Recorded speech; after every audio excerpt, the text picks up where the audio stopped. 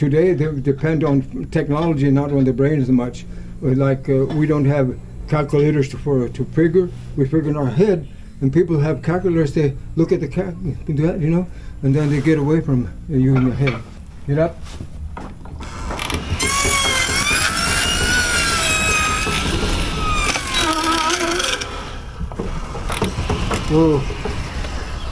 So all of this technology is with horsepower. Well, I guess if, if you call it technology. You know, there's people that live more basic than Mennonites. Well, There's countries where the people that barely have a little hut, and actually, our lifestyle is classed among the rich. We are actually. We don't. We can't. Com- we can't complain that we are. We're poor.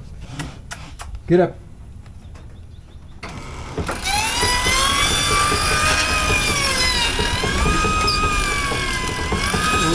Ooh. Are, are you not afraid for your uh, fingers? Oh, I've been doing this for quite a while already, and never had much problem. Oh my God! I tried to. I tried to uh, be careful. These are your blades. Yeah, those used ones. Okay, and how often do you have to change them? Oh, depend, uh, but uh, one blade can last up to six months if I not don't cut too many nails.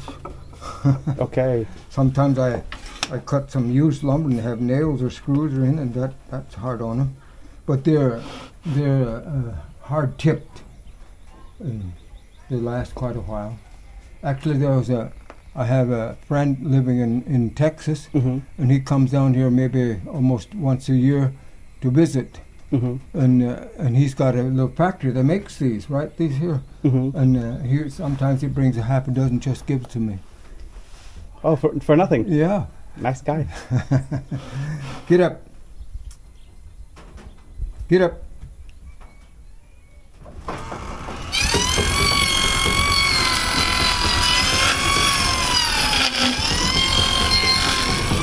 Ooh. Ooh. Most times when I when I start uh, stop sawing, it doesn't hurt, and Then he stops. He, he learned it. Who is the first person that thought of all this idea, uh, technology? I had, a thing like this down in Paraguay when I lived in Paraguay, and I liked it real well. So when I come up here, I made me another one. I, I just made it myself. How did you think of all this? I had down at the Paraguay, I had a b- belt, uh, like a, about a three-inch wide belt that went around there like that, and that uh, I had to splice it, and that made me some problems. So I thought I'd try cable here. Now cable worked pretty good. Uh, looks all right now. But is there like someone that's an engineer that thought of this? Like how all this stuff like put it together? No, I, I just done it myself. You didn't go to school for this. No, no, it just comes automatically. that was a, a differential from a, a car or a truck, and then cut it off at the bottom and put it down there, and then that makes my double gear, you know. And, and it also gears it up a little. Really like that, you know, because if this this goes up and down, and the other goes at the side that way. So it have to have a bevel gear in there. We call a bevel gear that turns it. Okay, get up. Get up.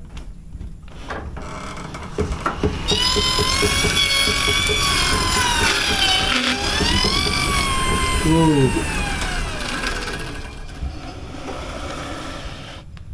And how long will this work for? This uh, this horse? Oh, I usually put him a half a day at a time. Okay. Like this work here is not very hard work. It's just kind of light work. It's just, but if I when my blade up and rip the thick, thick boards, then that takes more power. Okay. Get up.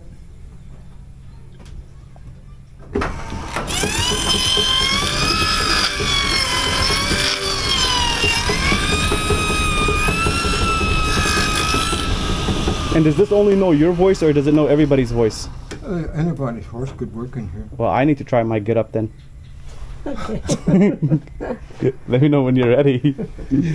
Well, down at the sawmill, you probably saw them down there, didn't you? Yeah. That horse, that, that they put in eight horses. yeah. Uh, yeah. uh But this here's just a small one. This is one horse operation. I could sometimes I put in two blades at the side of each other and cuts wider because I just want to cut that out, you know. Get up.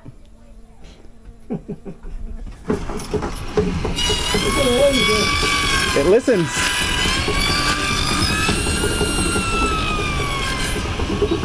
And how do you say stop in your language? Whoa. Whoa. That's for horses or oxen. Get up. I've got a whip here too, you know.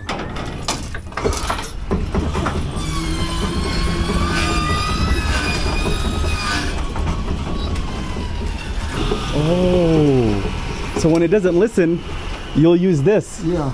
Sometimes when he doesn't want to go right away, I just pull this and then and then he, that might work. Whoa. Next time you see it, let's see if we. So hold on.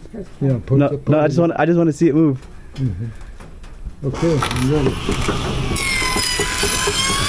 And does that hurt? Real bad, no. It just touched him a little bit, that little chain there. I Oh,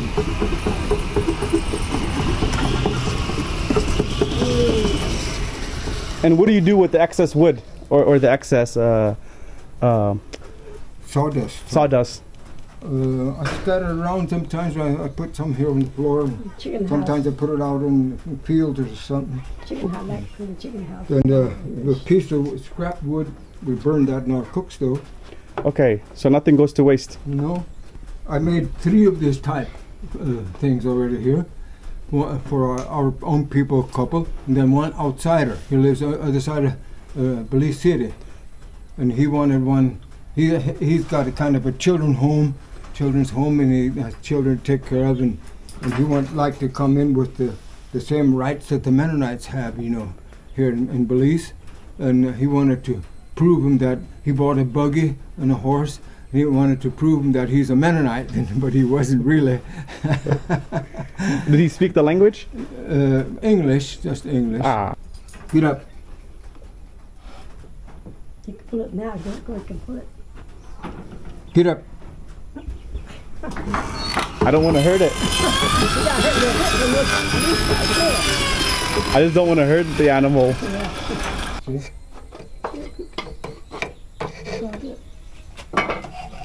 And this is helping with what? What? This here? Yeah. That's a rasp, wood rasp. That's a, you can, like, you can take, take the edge off. Ah, yeah.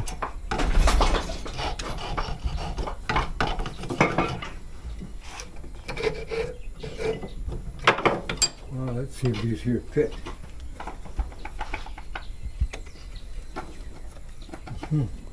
And this is only for bees. Only for bees, yeah. There, that should fit pretty good. And so you make one case a day or Oh, one? I just ma- I just this order for for ten of these. That's all I've got right now. Oh, oh there's a complete hive. Did you see that? no. See, that's the, that's what I'm making now. These here, just like that. Okay, I see. That's the way they look when they're finished. Like that. Then here, they get what they call foundation. It's uh, wax, beeswax, a thin sheet, the middle in here, and, that, and that's uh, it's uh, printed right the, s- the size of their cells, you know, and then they they build on it, and that that way it they stay straight. Then once they're filled with honey, you just lift them out one at a time. So you're building 10 of these, 10 cases. No, just ten of these frames. One, two, three, four, five, six, seven, eight, nine, ten. So you're building one, one for one, yeah. for one. And something like this is gonna cost like how much money? Altogether, I charge two hundred dollars like this. Okay. But that takes a whole day or a whole week or Uh, I can barely make it in a day. Wow. This here is long. to me, like. Oh, now you go. And you're also putting the screws in, Uh, yeah, there's nails. the nails. Yeah. And are you also making the case, this Yeah, case as well? I well? made it all. I've made it all completely. This here, uh, I, I had orders for two complete, and the one took it already, and doesn't here said he didn't take it yet. And then another order is for just ten of these. He says he's got the case. The bar- he wants- just wants these frames. And why do you paint it white? Uh, that's reflective of the sun, so it won't be so hot. You know, it's black it absorbs. Yeah, yeah, yeah, yeah. And, yeah. uh, and white reflects. yeah, okay. And then here, and how many bees are gonna fit in something like this? Well, that depends. A lot of times they have big swarms. Then you can put another one on top, another one on top, and even more. Sometimes they have up to five or four or five hive. And and are the bees for uh, for business or just for local consumption? Uh, mo- mostly local consumption. That they they sell it. It's pretty expensive. I forget now what the price of a liter. Or you guys sell by the liter? Uh, quart. They go. That's about like a liter. There's that little strip right there. And and how, and this can they also come out of here? Yeah, they go in and out. That's the only place for in and out. They go. They get, bring their uh, pollen Yes. stuff like that in and, and deliver it. And they they work together. It's a nice example for us to work together. Now do they also pollinate the uh, nurseries and and the fields? Oh yeah, that, they, they claim that without bees, you, we, uh, humans couldn't exist. And what is this thing? That's a what they call a wash machine.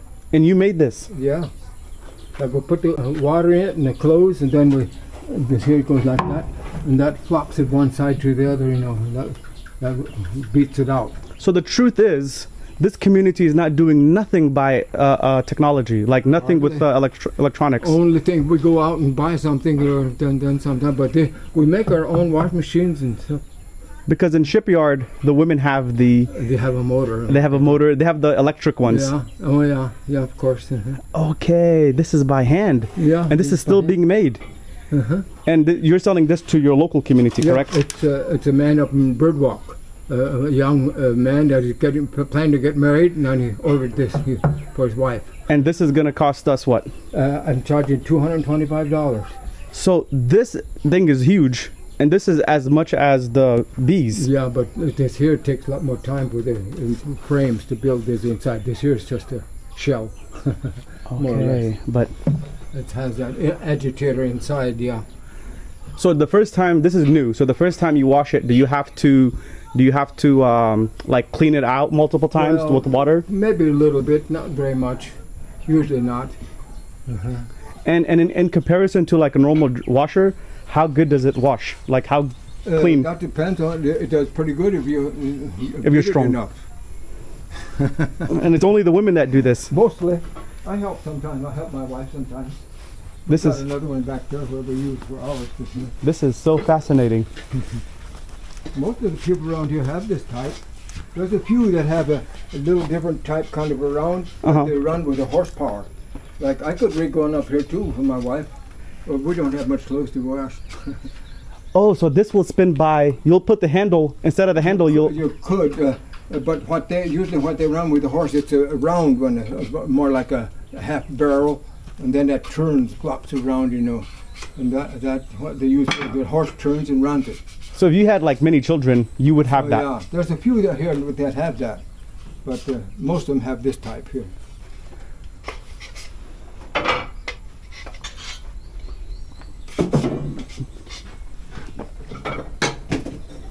From a from a car. Is this from a pickup truck?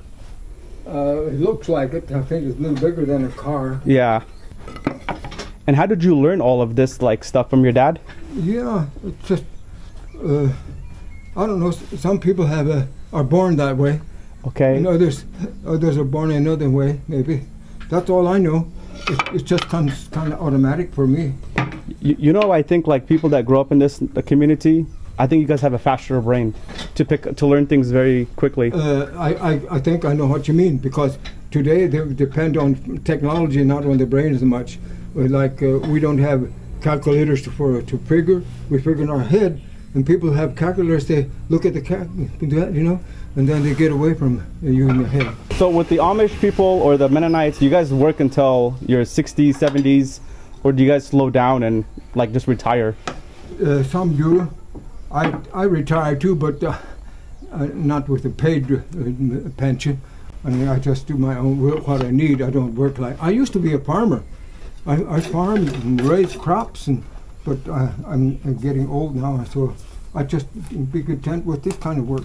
Good enough for me. And you make enough living to Yeah. to buy food and have big. We don't have big expenses. Uh, our health is good. We don't have much hospital bills and anything like that either.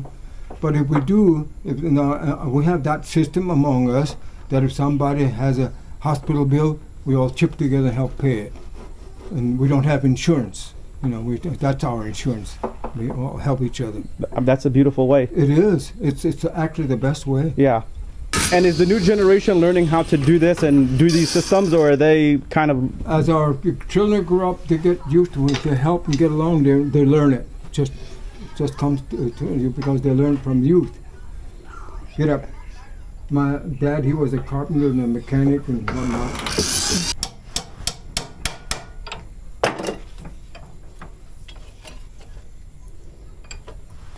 is this are these machines from the U.S. This here? Yeah. Probably. and what is this called? I bought it used down here. What is this called? Uh, Vice. Vice, Yeah. like a vice grip. Right. Yeah. They're pretty small for the needles. Oh, and he'll pull out.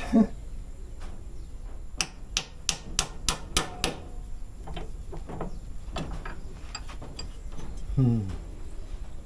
And do bees only want wood, or can they also use plastic uh, trays? Uh, now they're starting to make plastic, uh, thin sheet of plastic. Then they cover it with beeswax because they won't build on the, on plastic. Have to have beeswax. They melt the wax and put it on the on each side. That makes it stronger because the plastic is stronger. The beeswax in itself is is little uh, is weak. It's not strong enough. Okay. And and so so what? So plastic is becoming better, It's stronger. it's stronger, Yeah, that's the main thing, I guess. and you can make those by machine, right?